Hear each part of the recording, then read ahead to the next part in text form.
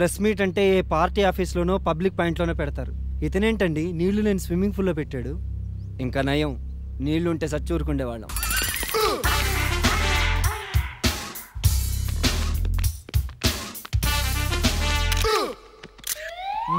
మొదలు పెట్టండి. సార్ తొలిసారి సీఎం అయిన మీరు మొదటి సంతకం దేని మీద పెట్టబోతున్నారు? అమ్మ నాన్నలందరూ బాగున్నారా?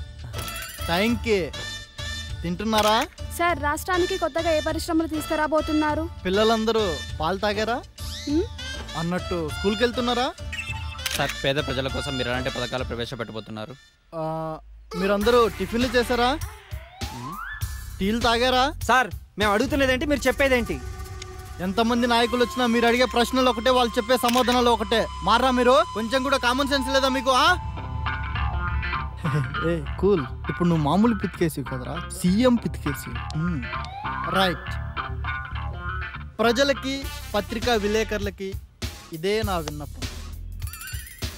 ఈ రోజు నుండి రాష్ట్రంలో ఎవరికి ఏ ప్రాబ్లం వచ్చినా ఫేస్బుక్లో పోస్ట్ చేయండి.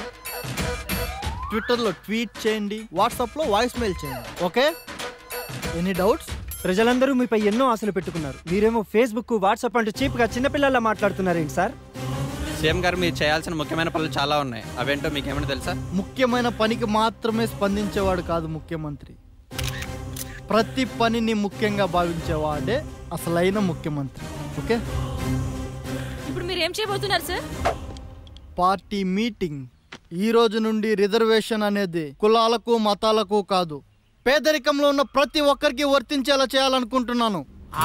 మతుండే మాట్లాడుతున్నావా? గాలివాటాన సీఎం అయిన నువ్వు? గాలి మాటలు మాట్లాడుతూ ఉంటే చూస్తూ ఊరుకుంటామనుకుంటున్నావా ఆ?